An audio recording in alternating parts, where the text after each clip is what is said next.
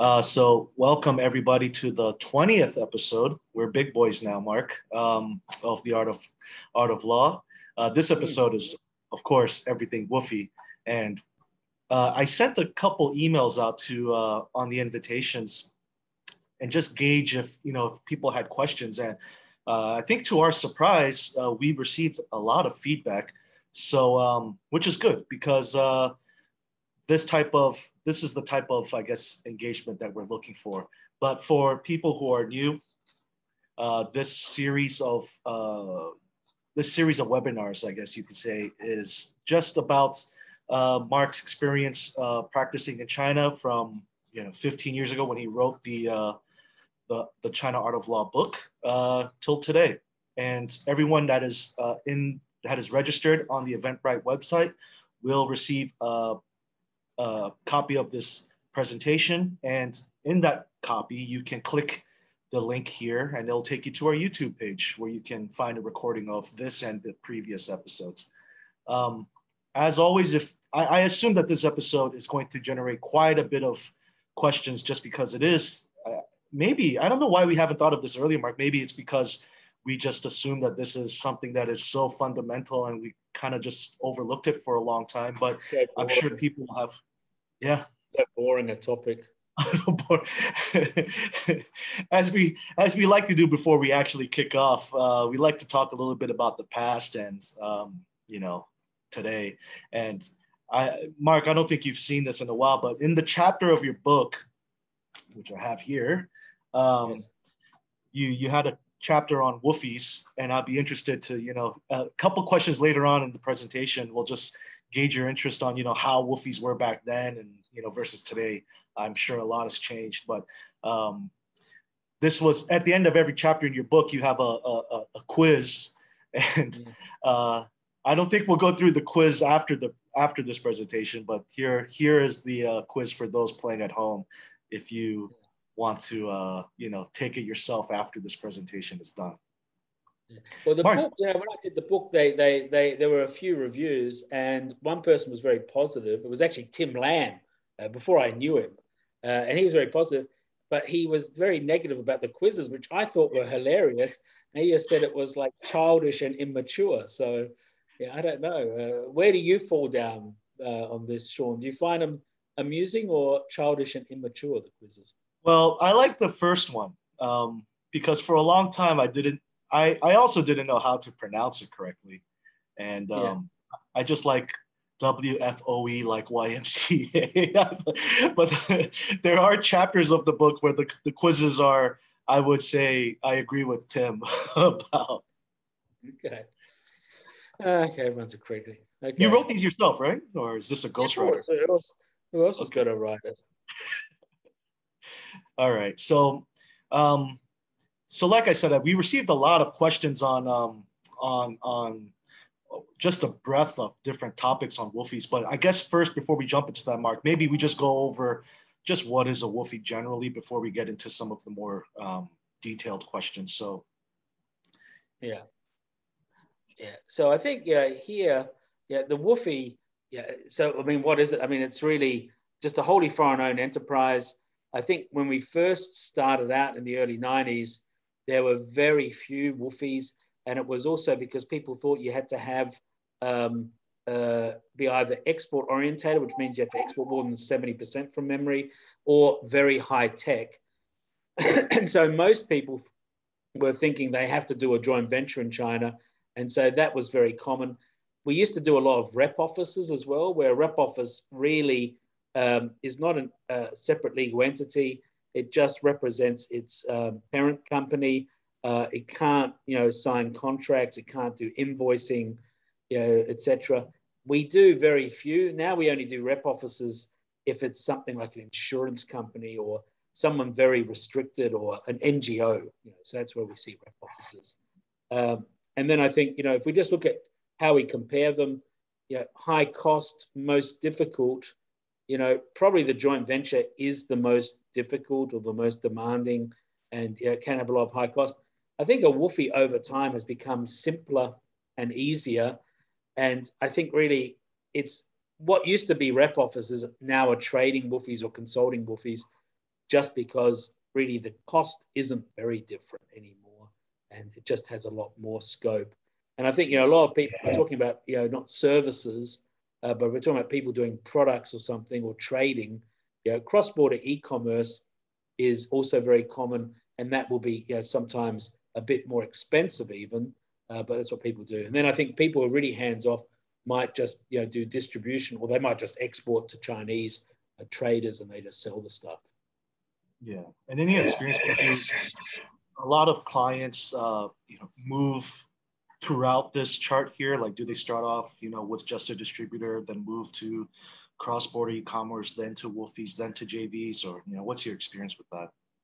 Well, I think it depends. I mean, it's, it's all very bespoke, but I would guess um, few people do the first thing in China with a joint venture. I think that's a, a relatively rare thing. I mean, it's possible, but if you look at the you know more traditional companies, you know, if we're talking about products rather than services, uh, especially if we're talking about B2B type products, I think it's always been the case that people would start to export, they would distribute. If you look at the auto sector, you know, a lot of it was when the big automotive manufacturing companies set up their joint ventures in China, because back then there was also all those local content uh, push. Uh, then a lot of those European and American suppliers they were kind of forced by the OEMs to set up um, you know their own local manufacturing. So I think it's mostly you sell to China, you see there's a market in China, and then you decide to set up a manufacturing entity or a trading entity in China. And so I think you know for for most companies now, unless they really know the joint venture partner well, or they're required in some cases still to need a joint venture partner, or they uh, see the joint venture partners being very strong, you know, then that's possible. But I think for most people, if they've got the market, they'll set up a woofie rather than a joint venture. Yeah. yeah. So uh, this is a flow chart of the woofie uh, establishment process, which looks pretty clean now. Um, uh, uh the name pre-registration straight into the lease, into the uh, the MOFCOM filing and the uh, registration of actual business to get the business license, and then the post-registration matters. Um, I, I, I, assume that if people who are looking into setting up a woofie or have a woofie are pretty familiar, I guess, with something like this. But I guess, oh, since we have you here, Mark, you know, was it was it always this way? Uh, it was always it used to be a little bit more tough, but I think woofies since like maybe 1998, they were always pretty easy. Yeah, of course, it would depend on the level of authority. So, you know, in the old days, people, uh, I think it was like 30 million US dollars, you'd have to go to provincial level, 100 million US dollars, you'd have to go to the state council. And so, you know, we did have some projects like big companies doing like a, like one was doing like a terminal for um, grain or something they actually split it up into you know three companies all under a 30 million just to avoid the higher level uh, authorities etc uh, so uh, i think nowadays it's it's more easy. I think this is always the same but it would have been in the old days a mofcom approval rather than a filing. Now it's only approval if it's on the negative list. And it used to be prescriptive what you could do as a woofie and now it's rather what you can't do as a woofie uh, but I think this is pretty much a similar, yeah, the, the conceptually it's not different. And I don't think it's been difficult. What's difficult for a woofie actually isn't on here. Uh, so yeah, this is a bit too simplistic on one thing. If you were doing a manufacturing woofie, the most complicated thing is probably the um, um, uh, uh, environmental impact assessment. Mm-hmm. So yeah, that can take time. Uh, so that that we should put that in there somewhere actually going forward. Yeah, I think this was a this was pretty uh the skeleton of pray for uh, a trading company or a consulting yeah. company. All right, but um, how long do you think it takes now to set up a woofie? I think in reality, you know, uh, we've got a client at the moment, and three weeks ago they said, "Look, it's urgent. We must move." And uh, we said, oh, well, you know, this is like on a Tuesday. And we said, oh, we'll send you a, um, a questionnaire and raise some issues. So their main issues was they didn't have a lease. They didn't think they wanted the lease. They wanted everyone to work from home, and they didn't have um, a Chinese name for their company. And anyway, and they said they want to do things immediately. And now it's three weeks later. We've you know emailed them twice or whatever. They haven't returned the questionnaire. They when they got our questions, they immediately demanded on the next day call to discuss the issues. We got on the call. And so, you know, the questionnaire is not very complicated. It's just like, you know, a bit about their company, about where they want to set up and all this stuff. So I think if you had somebody who really wanted to get things done quickly, I think six weeks you can get it all set up.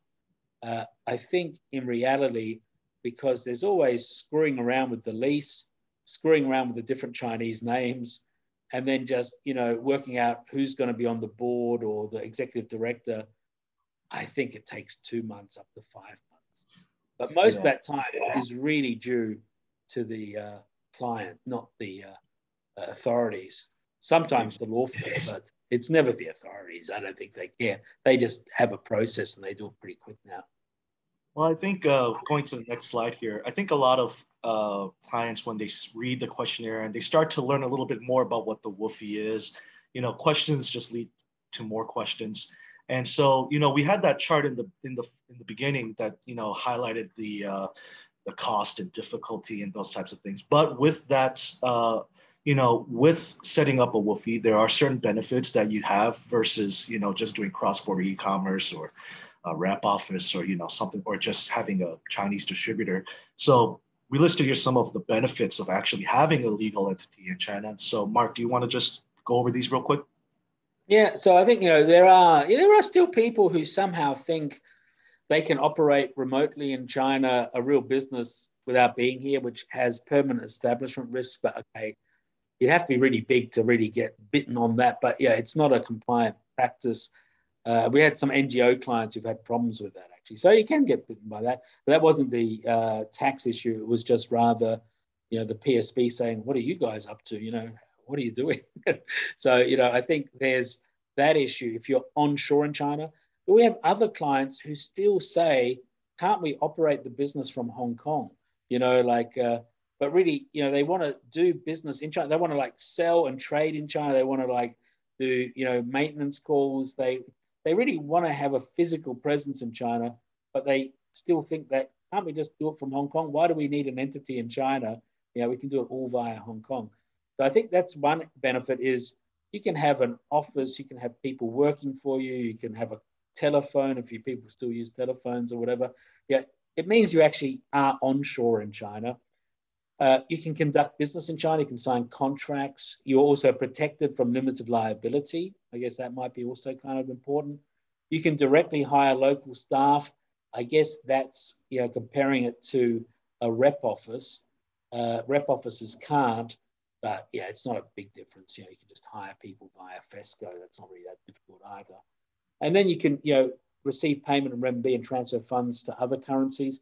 So I think that's one of the bigger ones. We have, you know, a few clients who are uh, services software companies, and yeah, it's pretty amazing. They have quite big business in China, but they're operating fully offshore, and that really makes it difficult. You must really love the product because, firstly, Chinese you know citizens are subject to uh, restrictions on how much um, foreign exchange they can spend in a year offshore, and also, you know, if you're working in a company yeah, those kind of invoices are difficult to, you know, reconcile in your accounts.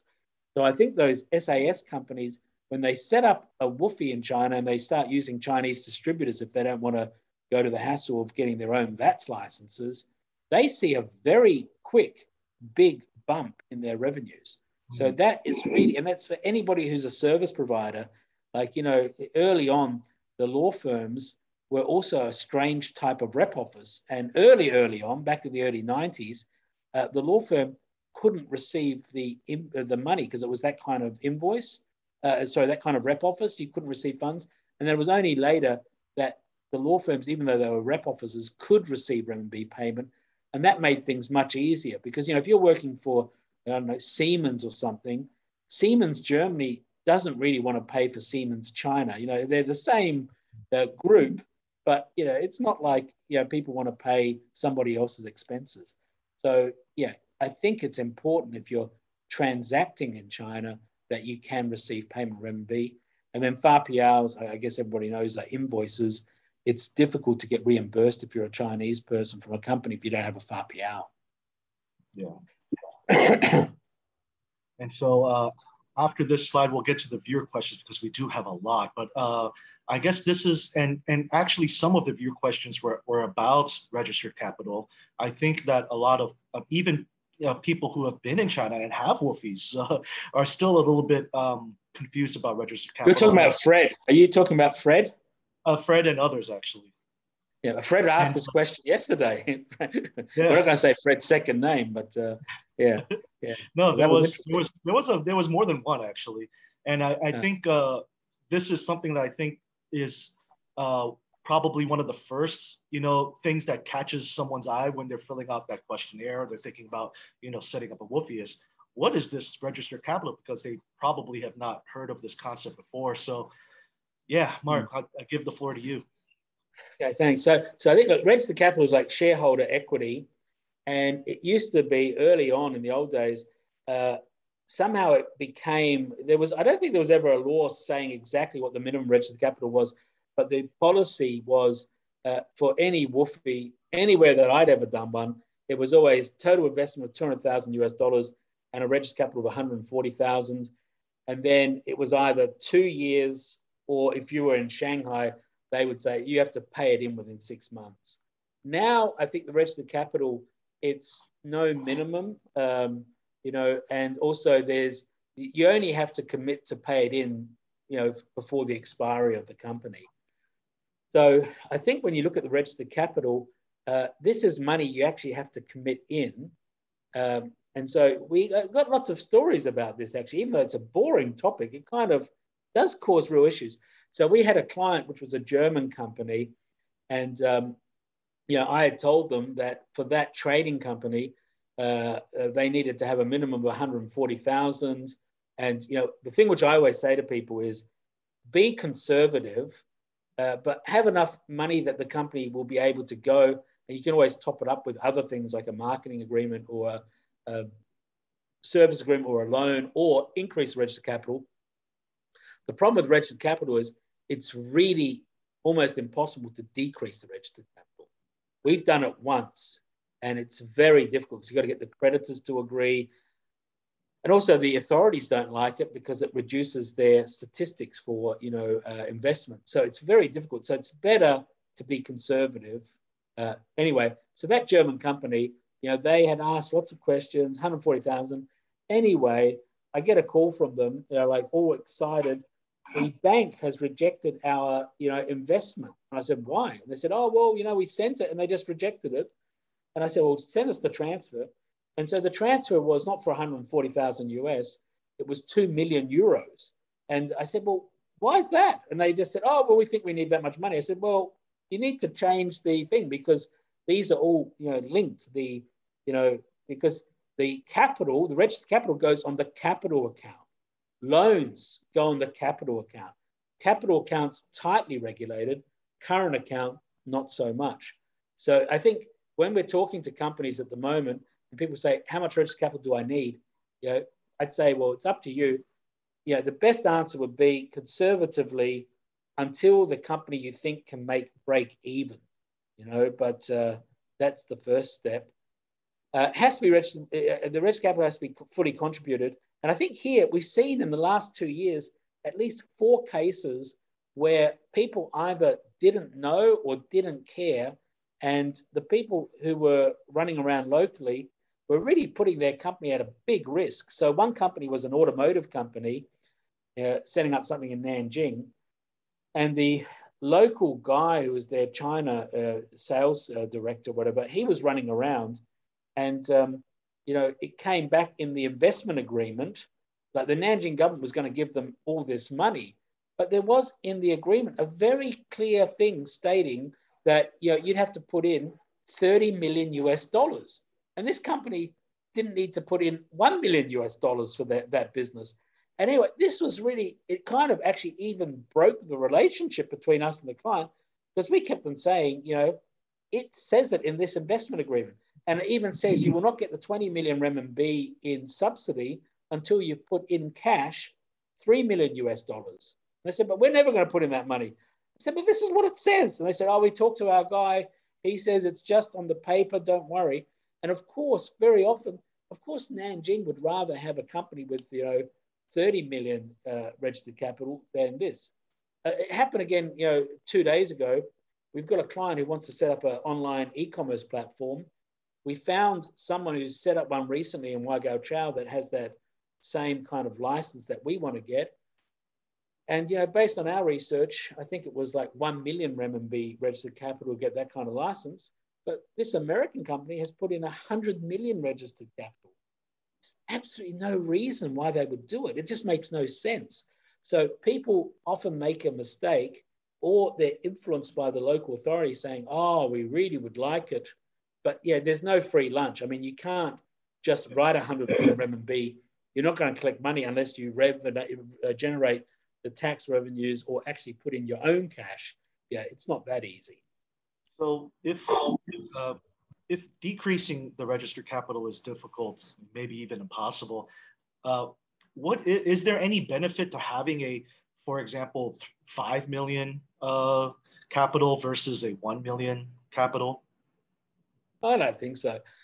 I think uh, I think yeah, you don't want the ha- I mean, you just have to balance something. You have to put the money in, so let's say if you think it's a million and then your expenses, and then most people would say, let's top it up with 15% contingency or whatever. Yeah, but you wouldn't like say five, because yeah, you have to balance the hassle of going back and doing a simple amendment to the articles and getting approval and change the business license. Yeah, this will probably take six weeks, but it's not expensive, it's not complicated, and it will be approved. So, yeah. you know, uh, yeah, uh, but that's better than saying 100 million. God knows what they're going to happen when they want to close that company. And uh, the Chinese will say, well, you have to put the money in before you can close it. Yeah. Um, this is kind of a, like you said, Mark, I think there's a lot more to this topic. So if you have any questions about this, just put in the chat. But for the sake of uh, time, I, I like to just move on. So, um, you know, when I was putting together all of the responses to the, the, the invitation email, uh, it it started pouring in. And I originally had uh, another section on, um, I guess, uh, board and director uh, duties and uh, a little bit about leases. And they're still here, but they're towards the end. But um, I would like to spend this next uh, section just getting to all of the viewer questions that uh, that we received. And if you have, what are the yellow lines? What do they mean? These yellow lines, Sean? Which yellow line? Oh, which yellow lines? I see two yellow lines around the phone. Oh, I don't see any. Oh, really? That's weird. Okay. All right. So see them everywhere. I kind of um, broke this down into uh, um, uh, different different sections. I try to categorize these questions, but um, I guess this one I didn't write it here, but this one is more about uh, board and management structure. So, uh, oh, all right, I'll have to go back and look at the for the other lines. But um, uh, this this slide, that Mark, guy, that guy in that movie, like Bruce Willis in that movie, The Sixth Sense or whatever. I see dead people. I see yellow lines everywhere. no, I'm just missing a sense, probably. All right, so um, uh, maybe Mark. I think one of the other things that a lot of people get hung up on, in addition to like the register capital, is about uh, board and management structure. Um, so uh, I, I originally had this, yeah, it gets a little bit complicated. So originally I had this slide here because uh, uh, there are different roles for setting up a woofie. And Mark, maybe you can just talk a little bit about these roles uh, that for yeah. setting up. Yeah, so I would put the supervisors at the bottom actually, because this makes it look like they are in charge and a supervisor doesn't do anything. So I think, you know, I'm even a supervisor of a few companies, which just shows you how little they do. So uh, I think a supervisor, the only role is uh, they can represent the investor if the board and the management conspire against their interests, because otherwise, how would you take action? Because, you know, the uh, company is run by the board. Uh, and then I think what we've got is the board of directors, I'd say 70, no more, probably 80% of companies, woofies, 80% of woofies probably have a board. You could also have an executive director. Um, executive directors, I've only ever really seen if the company that is setting it up is also really fully owned or majority owned by an individual, and this person likes to be in charge of everything. Uh, and then if we have a woofie, I honestly reckon I can't remember a, a wholly foreign owned enterprise that didn't have three directors. I think it's always three. You know, you you know you, you can't have two. The minimum is three. I think the maximum is 13 from memory. But uh, yeah, almost everybody has three. And then you have um, the legal representative in a joint venture. It has to be the chairman. But in a um, woofie, the legal rep can be either the chairman or the general manager. Okay. All right. Great. So I want to, I'll go back to this uh, section. So um, some of the questions that we received from the, the, the viewers here, um, you know, which of these roles, because I, I, uh, a, a lot of these people are, uh, you know, international. Maybe they are in China. Maybe they aren't in China. So out of those uh, those roles, Mark, are there any requirements based on you know? Do they have to be in China? Do they have to be Chinese? You know, are these uh, are there any requirements? So China has no nationality or um, residency requirements. So uh, I would say most of our boards would have like three directors who are based offshore. So you know the board, the Woofy, you know, it's um, it's and most of those people are not Chinese nationals. So I think that's it. I think with general managers, sometimes for an initial period, uh, but I think it would be strange in the long term if the general manager isn't somebody in China. So that can be, um, you know, a Chinese national or an expat or something like that. So that's normal. Um, I think where we see some overlap is some companies like to have the general manager also as a director in the board. I don't think it's that good. Um, you know, I also think um, the legal rep can be a general manager. I also don't think that's that that good. You know, uh, it gives perhaps too much leverage to the general manager, makes it harder to remove them. Um, you know, there was that big case, we weren't involved, but ARM, which was, I think, SoftBank and an English UK company and a Chinese company, had a general manager went crazy with his chops and just couldn't get rid of the bugger. So I think, you know, it's not good to have the general manager as the legal rep, especially if they're running the business locally. Uh, board versus sole director, I think it's it would be a bit weird if the company is like a big company that they would not. I think sole directors only make sense if it really is the owner of the company has tight control over things. Liabilities. Look, long story is there's like a four-page memo one can write about it, but I think yeah, first thing is normally in China the company will be responsible for any of these liabilities. Secondly, it will be only the directors if they were involved in it and thirdly, you have to really do something pretty bad for you know directors to be uh, you know personally liable. The legal representative is more liable than the others, but I think my feeling is over time, this is mostly if it is something which is considered very sensitive. So it would be like, you know, I remember once we had a joint venture in a dynamite company, and uh, yeah, there the legal rep you know, the local authorities just said the legal rep has to be Chinese national. We said, well, that's not the law, blah, blah, blah. They said, yeah, we don't care if it's the law or not, but if something blows up and there's 100 people dead, we want to be able to grab the legal rep. And so then the uh, foreign client said very quickly, yeah, I think we can give that up. Okay, we'll let the Chinese side be the legal rep. So, yeah, and we had another case with gas cylinders in the south where a gas cylinder exploded and the legal rep, he wasn't arrested, but he was taken, you know, into custody for discussions. So I think the legal rep is the person, if there is a big crisis, and that might be a reason why it's good to have him overseas to do it. Then D&O insurance, it exists in China. I don't know how good it is. I've never seen anybody rely upon it, but I think it's quite limited in benefit because I think D&O insurance wouldn't cover criminal acts. And I think if you haven't done anything criminal or very grossly negligent, you're probably not liable. But I can understand if you're a director, you wouldn't mind the company to, you know, have it. Yeah.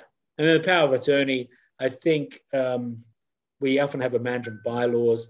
Um, you know, uh, it's not a reason to be legal rep because you want to be a bank signatory. You know, the banks will have their own requirements, but typically there's a board resolution and a signature of the legal rep, and they authorize, you know, one or two people in the company in certain ways. Good, Mark. So this is the the next one. I guess this is uh, what we were. Uh, this is why we went over uh, the you know what what is a, a generally, and so um, this group of questions is more about planning, I guess. Uh, when you um, maybe just to start off is when do you when should one start to even think about uh, exploring WFOE as an option compared to, for example, a rep office or you know uh, just doing cross-border e-commerce or one of those one of those other options.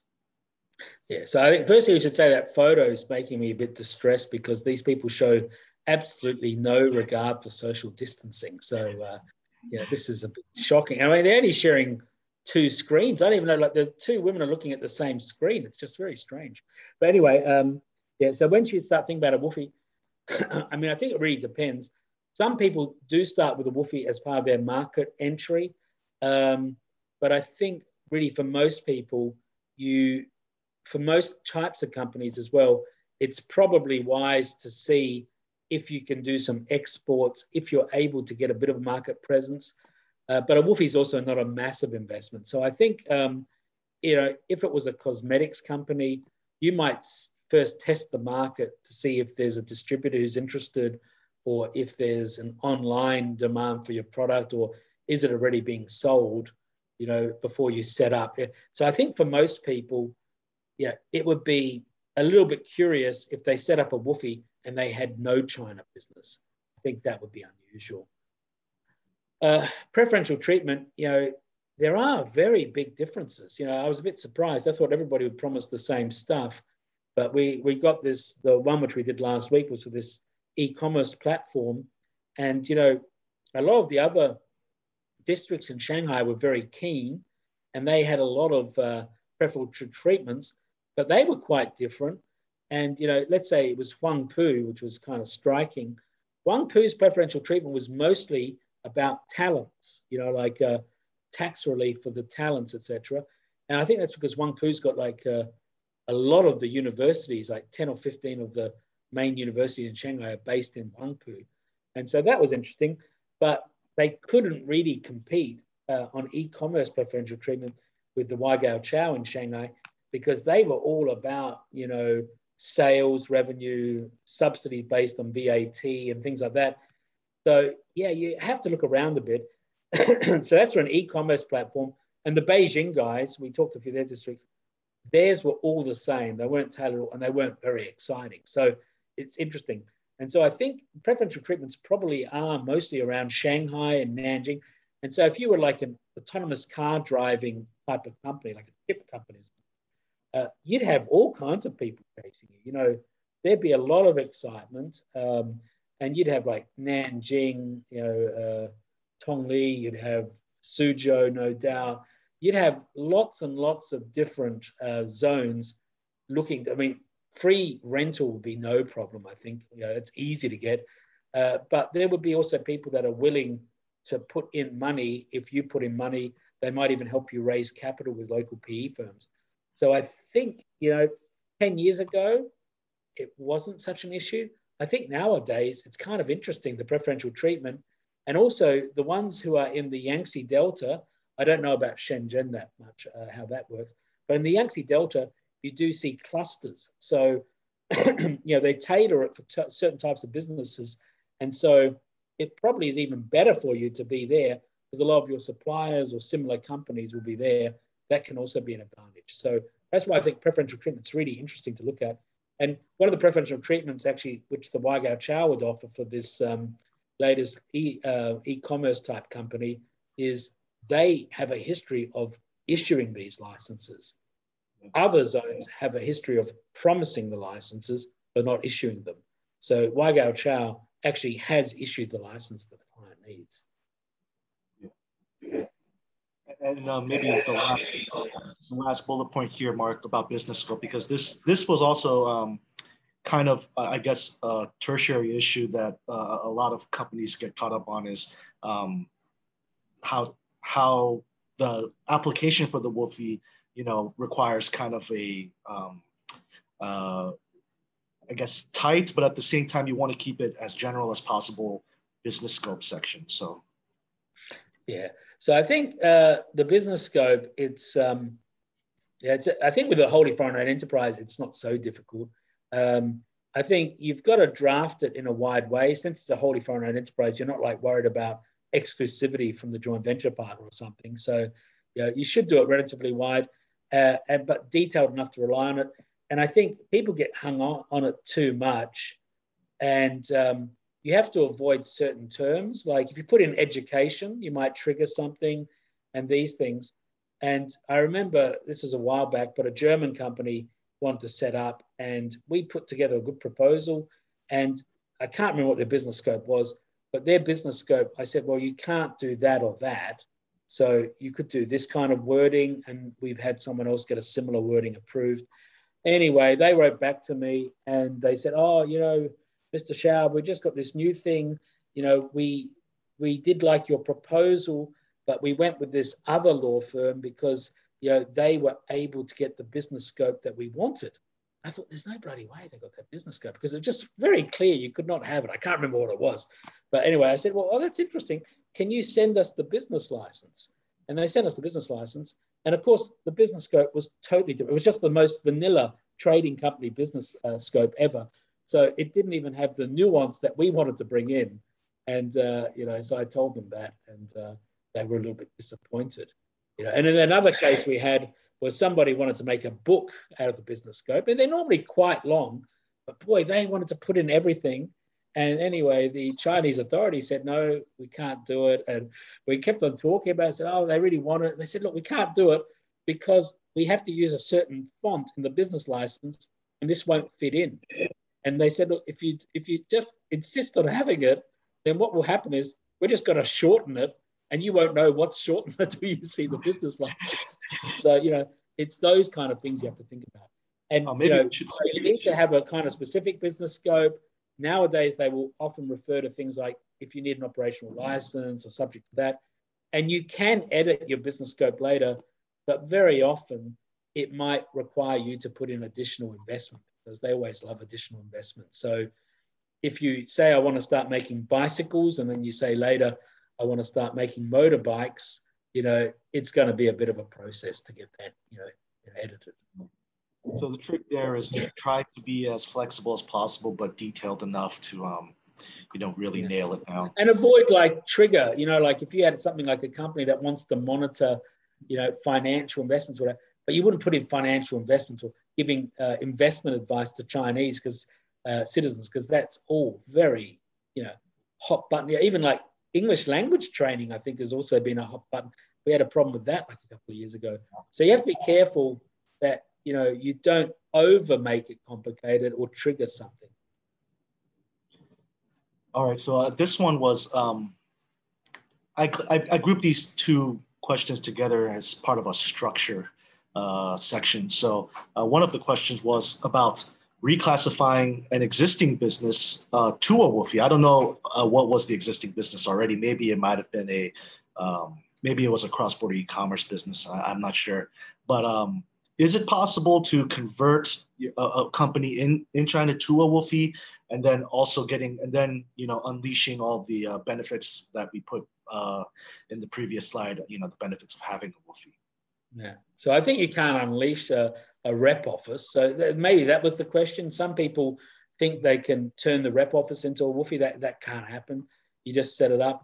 Um, you know, the only other kind of company would have would be a Chinese domestically owned company, and that's pretty simple as long as you know the business uh, is okay for Chinese foreign investment. That's just a simple M and A deal, and you know we have a strong preference. I think we've done a thing on it before. You know, share deals are much easier than asset deals so, you know, basically you buy 100% of the um, company and it ends up being a WFOE. So uh, that's pretty easy. But if it was, uh, if it, so if it was the other way, would you just have to close everything down and then open up again? Uh, uh, what other way? sorry if if if uh, if you wanted to uh, if you had a rep office and you wanted to change it into a woofie, you would just shut it down and then or you know uh, no you would like what you would do is you would set up the woofie and then you'd close the rep office because uh, closing a rep office is i think more stressful than closing a bloody uh, woofie it's uh, it's one of the most uh, annoying uh, things that just never is a never ending hassle. So, uh, you know, you wouldn't want to have that break. So I think you would set up the woofie, move the people to the woofie, and then at your leisure, close down the rep office. Okay. And uh, earlier on, you mentioned about having this uh, uh, people wanting to work out of Hong Kong, or maybe even uh, some company structures have a Hong Kong inter- intermediary, uh, kind of like a holding company uh, you know, is that necessary? And if if not, are what are the the pros and cons of having one of these holding companies? So I think you know, really, I think firstly there's the tax kind of benefit because Hong Kong has a better tax arrangement than most Western companies. So uh, you know, if you've got technology license or dividends or whatever, there'll be a 10% withholding tax in China. If it's a Hong Kong business with some substance, it's 5%. So I think that's one thing. Uh, the second thing is, you know, it can be a bit of a shield. You know, um, any problems at the Hong Kong level, not perhaps at the UK or American or German level. So that can be an advantage. Um, and then I think, you know, maybe Hong Kong or Singapore, you know, uh, a lot of people now, I think more often they use Singapore than Hong Kong. If it's a big, like US company, they might have like a regional kind of headquarters in Singapore or Hong Kong, and they'll put all the business and acquisitions under that vehicle. Uh, and yeah, that might be some kind of advantage from a management perspective. And then I think the final one would be if it was a business that you thought might spin off at some stage, that maybe the China business, you know, maybe you're a, a tech kind of startup, you know, but more, you're like a, uh, like a unicorn or something. You could imagine that your core market might go in one direction and maybe China and Southeast Asia go in another market. And then if you had it all in a Hong Kong intermediary, you wouldn't have to carve it all out. You could just like list the Hong Kong company or Singapore company or sell it off or you know, introduce investors into that company rather into the top co, which would you know, complicate things. So I think for most companies, it's not a big mover of the dial, but for some, it would be important. And I guess uh, odds would be that you, I've, I've heard you mention this before. If you do have a Hong Kong holding company or you know business there, it has to be a little bit more than just a desk and a phone. Well, you need to have uh, some materiality to benefit from the tax advantages, but for the other advantages, it doesn't matter. But yeah, if you're just a family-owned company making, you know, um, socks or something or whatever, yeah, there's no reason to have that extra layer of complexity extra layer of cost. But if you're like a company that might list it or do something, then it will be much cheaper to set it up early rather than you know restructure everything later. Cool. And uh, the last two here, um, one on finances and one on I guess post establishment. Uh, I, I, a lot of the questions, Mark, uh, I would say, um, were also about the, fi- the, the finances part. Um, dividends, repatriation of funds, and also interacting with authorities on how to transfer, you know, how to move monies. So maybe you can just give us some of your thoughts on that. Yeah, so I think the dividends, like and the other distributions to shareholders, yeah, really, I think in the whole time there was only a period of uh, maybe five or six years ago where it was a little bit difficult. But I think you know we never came across any Chinese authority saying you can't remit the dividends it was just during a, a, a, a, slight crunch in the foreign exchange where China still had the most foreign exchange in the world, but it was depleting a bit and you know, things got a bit nervous. And so there were two internal policies, which I don't think were public, but one was um, you could only, I think you could not send more than 5 million US dollars in dividends in one shot. They would ask you to split it into tranches over a period of time. And also, your bank had to be able to balance the foreign exchange. So, if you were like a, powerful exporting part of China, like uh, Zhejiang, where they export probably much more than they import, you know, they, they would have a lot of foreign exchange. And so there was a little bit, people asking questions. Some people had to, you know, get their dividends paid in tranches. That's really the only time I've heard this. So I think the, the main problem is when people try to transfer funds overseas, uh, is there's something funny going on, you know? So dividends are easy. You need a board resolution, you need evidence that you've paid tax, evidence that you made profit, uh, evidence you paid tax on that profit. Then you get to send the money out. It's very simple. Uh, other funds, I guess what we're talking about, you know, if the WFOE buys parts from the mother company, uh, so or the parent company. You know, that's just a supply contract. It's on the current account. It's very simple. Shareholder loans repayments, it's a bit more complicated because it's a capital item, so it needs to be registered. But if it's registered, no problem to pay it back. You know, uh, they might look at the interest rates if it's like reasonable, but you know, not a big issue. Uh, if there's a service agreement, again, it might be a tax. There'll be a tax event. You have to pay tax on the service. Uh, as long as it's reasonable, it'll be okay uh, to do it. Um, so I think it's not as difficult. I think we people misunderstand it, and it's people cutting corners or doing things which are shonky, and they think it affects everything. And now interacting with SAFE, I don't think you get to interact with SAFE anymore very much because it's mostly the banks. And so if you can get the documents and it all makes sense, you know, uh, they'll transfer it it's more of a hassle than being in Hong Kong or you know being in America and you go online and you just transfer the money to wherever. Uh, but yeah, it's the banks who are supervised by SAFE, not the companies themselves. Is my understanding.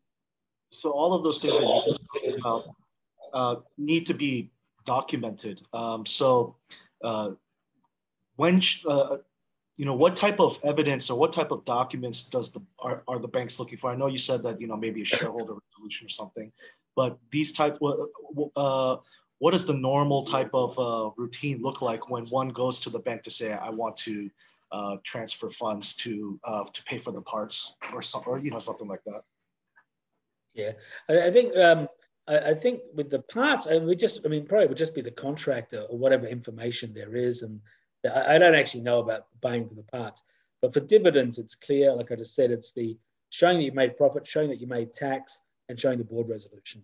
With the license agreement, it'll be the same thing. The license agreement, tax has been withheld, and it doesn't look ridiculous. I think, yeah, that's the issue.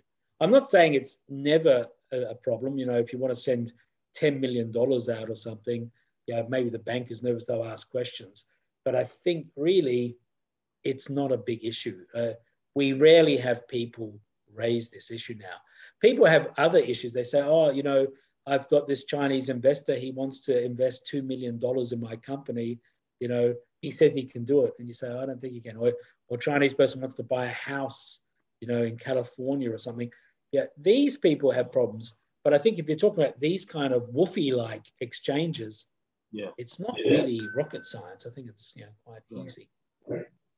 And so um, this last group here on post establishment, um, uh, there were a, a, few questions about employment. Um, how do I hire my first employee? And what about uh, part-time employment? How does having part-time employees, how does that work as well? Yeah, go on. Okay. Hire the first employee. I mean, it's pretty easy if you're a woofie. Uh, you just like sign a labor contract with them.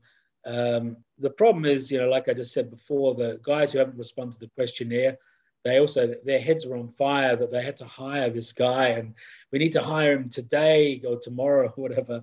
And you know three weeks later it seems like they obviously wasn't as urgent. And so sometimes people want to hire people in advance and that's difficult because you don't have an entity.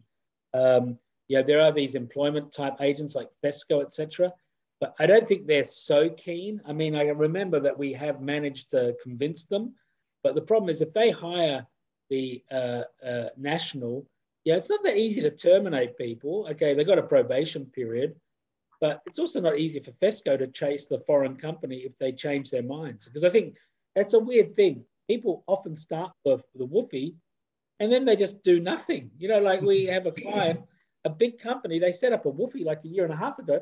They still haven't hired their first employee. You know, like uh, don't know what they're doing. You know, it's uh, yeah, but they also were urgent. Yeah, I don't think they even set up a bank account yet. Yeah, it's kind of weird. Yeah, the companies also sometimes are not serious. But anyway, uh, on the part-time employment thing, if we got the email from a person, yeah, maybe we can send some details because I know we've done this for somebody, but I can't remember to tell you the truth. I just don't remember. Okay, I, you mentioned FESCO, and I guess this is the, the last part about this post-establishment. You know, once you have your WFOE, and you need to get some administrative functions into your into your company, uh, maybe some like uh, a, accounting team or a legal team or HR mostly, and um, you know, what are the what are the pros and cons of hiring in-house for these types of functions versus outsourcing, you know, like you said. Yeah, I, I think, you know, uh, it's probably better not to be too ambitious. I think, um, yeah, for employment, rule of thumb, I should actually look into it one day, but yeah, I would always, I always thought if you have less than 15 employees, you'd probably rather have the payroll and, um, you know, the uh, social contributions done by an employment agency like a WFOE or something.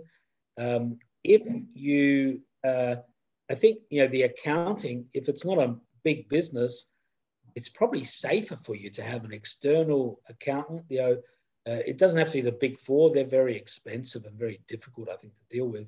But there's you know a lot of um, uh, you know local accounting firms or corporate services firms that offer these kind of uh, uh benefits, and I think the margin that you would pay to them really is quite you know low.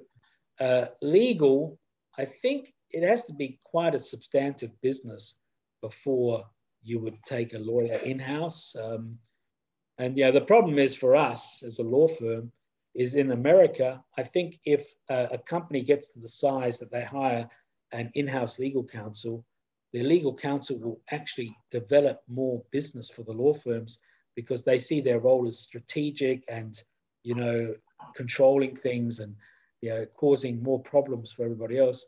But in China, the in-house lawyer thinks he's the in-house lawyer and starts doing most of the legal work. So, uh, yeah, so it's a pity. It's a big cultural difference between America and China.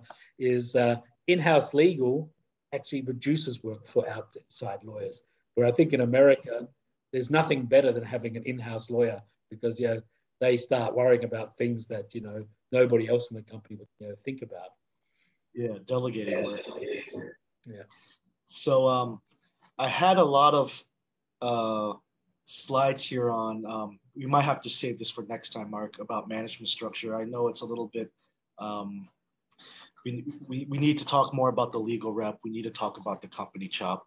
Uh, but maybe for the little time that we have left, just talk about leases because, like you, um, I think I, the reason why I put this here, and I've created a lot of these beautiful slides, is because uh, I, I think that um, you know, given our very recent experience with that with that one company, um, you know, they they wanted it was so urgent to set up the company, but you know, you need you need an office. You need you either you either need an office or you need like a, a, a manufacturing plant or something. And this type of um, that that requirement by itself is kind of a you know a process of in and of in and of itself so um, maybe we just talk a very little bit about you know how exactly does one go about uh, you know picking a location uh, negotiating with the landlord and uh, you know finally getting uh, securing their their space so that they can move on and continue with uh, the the WFOE application process Okay, uh, so I thought first, boy, what a boring topic, but but actually, it's kind of. So I think with the location, I think it really depends on the type of company. So you know, if you're a chemical company, you're going to probably have to nowadays set up in a chemical zone. Uh, otherwise, you're just going to be looking for trouble. You know, uh, five years from now, you're going to have all kinds of problems. You know, so I think you have to look at your business, the environmental impact if you're a manufacturer, we don't see that many manufacturers as we used to. So that's why it's not front of mind. You know, so we see many more people setting up service companies or consumer facing companies. Uh, but then I think, like, let's say if you're a, you know, a cosmetic company, maybe you'd set up in Shanghai because you know there's places that manufacture cosmetics, etc. And then I think with the location, you would look at the preferential treatment depending on the business. Then, like, you know, we had this recent case with an NGO. Uh, we thought it was best to set up in a certain uh, district of Shanghai because that district was really encouraging uh, NGOs. And so they were helping us deal with the PSB and with CCPIT and all that kind of stuff. So I think, you know, that's, you know, the special case. If you think your business is somehow special, then you have to think a bit about the location. Uh, and I think you're special if you're manufacturing or you've got some kind of restriction or you need some connection to state-owned enterprise or something, then you'd probably be in Beijing. But let's just say if you're a vanilla type consulting company or a trading company, and let's just say that you would like, yeah, where do most people go? They probably, if it's just like a vanilla type company, it'll be whoever they're thinking of hiring, they'll set up there. And that person is normally either in Shanghai, sometimes in Beijing, sometimes somewhere else. So I think most of it, and I don't think it's just because we're based in Shanghai, but I think Shanghai does have most of these kind of trading and consulting companies. And so then I think the question is within Shanghai, the districts, it used to be more difficult with tax and things like that, but I think that's easier now. But I would pick a district and not move away from it because it's a hassle to move the, the district. And you know, so uh, you'd have to look at your kind of business, see the kind of preferential treatment. And then I think with the leases, you know, people don't understand this, but you can't set up the company without having a lease or at least a letter of intent, because otherwise you don't know where to set up. So I think, um, yeah, so the lease, you know, um, uh, yeah, people get bent out of shape about it a bit, but really, you know, there's some things in life you just can't negotiate. So we tell clients quite often, look, we can look at the lease, but once we see the landlord, we kind of know how much you've got scope to negotiate. And you know, if it's a top landlord in Shanghai and you're not really so exciting, it's difficult because of the dynamic of the way they, uh, you know, uh, negotiate the lease. The person in charge of the lease can only change the commercial terms. They really can't change the legal terms. And if it's a hot building, there's normally uh, interest in the building. So if you can't move quickly, you will lose the building. So I think you can only really negotiate stuff like rental, deposit, rollover space, and things like that. But yeah, negotiating what a force majeure clause is, it'll be a waste of time and legal money, I think, to do it. All right. And um, here we just put a little bit of uh, common legal issues that Mark, you already went over, but um, these are some of the things that will be included in the presentation uh, sent to you after this. Uh, we're out, we're out of time, Mark, but uh, I just want to go through this very quickly. Um, and these are, like you just said, these are some of the must-haves versus nice-to-haves. And depending on where you are looking for this space, um, your leverage against the landlord, which probably isn't much, to be honest. Uh, you, you might want to, you know, start ticking some of the boxes on the nice-to-haves if you find yourself with a little bit more leverage than you, you know, uh, than than we think you might have. Um, well, it um, depends on the building. I mean, if it's a building yeah. that's like 80% empty, you break a lot of uh, leverage. But if it's like going into a new building and you're a small tenant, you know, maybe not with office spaces not so much, but what I always saw was in the retail clients, you know, they would have a process of 10 layers of discussion and any good space, unless you were really like Chanel or somebody that brought a lot, you know, uh, uh, of uh, um, foot traffic, then you know they, are just you know like who is this difficult foreigner? You know, like just go away. You know, so I think that's the issue.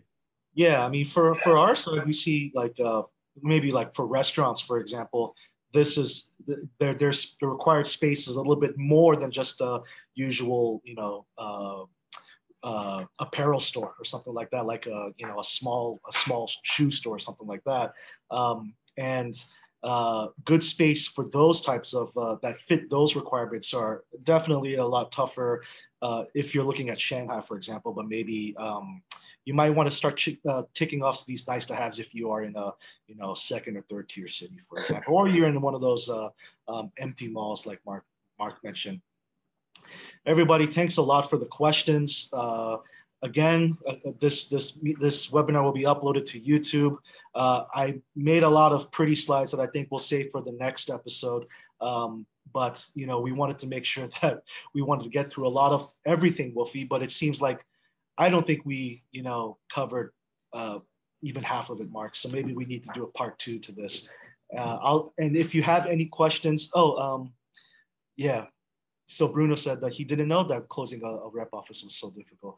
And you know there are a lot of these corner cases that we need to get to. So maybe Marco, I'll see you around for part two. Yep, sure. Sounds good. All right. Thanks a lot, everybody. Take care.